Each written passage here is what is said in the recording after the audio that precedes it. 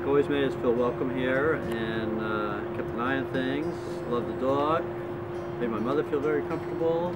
And I loved the tours on the boat, especially when he talked about his uh, boys. They used to find necklaces and rings at the hotels, and and he used to tell stories to everybody who visited about the cars breaking through the ice and somebody at the uh, vaudeville show robbing somebody or a murder. It's never a dull moment with Frank around. He Thanks. has some great stories. We're going to miss him a lot. Um, we know Frank, we've been his friend for 45 years, and uh, he's reliable, he was dependable, he helped us out many times with other, any problem we might have had. But in ti- in, in, in, on top of that, he was also a good friend that you could socialize with and exchange a story or even a beer or something. So we're going to miss him a lot. Yes, we will. Love you, Frank. I have run into Frank many a time at Price Chopper. In fact, one time I came around one end cap and there he was coming down the aisle with his cart. And we just about crashed. Said hello and I said to him, Frank, what are you doing here? Hi. And he said, I'm doing what you're doing here. Shopping. But I want to thank you very much for being a part of my life and um, all your fun stories and all of um, your humor and gratitude, graciousness, and you were always so dressed up so wonderfully and smelled good all the time.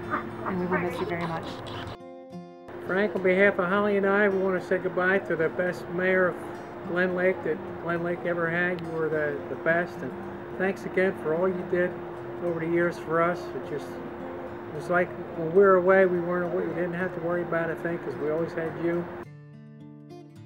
We know you boys since you were little and you were wild. I, uh, your father did a lot to keep you kids under control, especially your mother. Your mother did a lot too.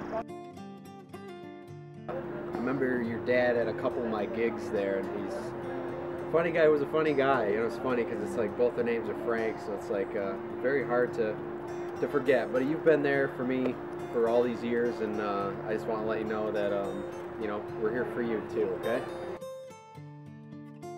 I didn't know him, but he must have been one hell of a guy because I see how you are, and I know having kids that kids are really reflections of their parents.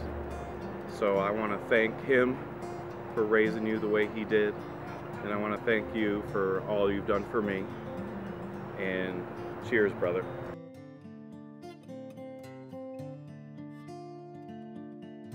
I'm gonna miss him, and I, I hope he's at peace up there. And I hope you boys uh, know that everything that you are is because of him. He's a great man, as well as all three of you boys are fantastic.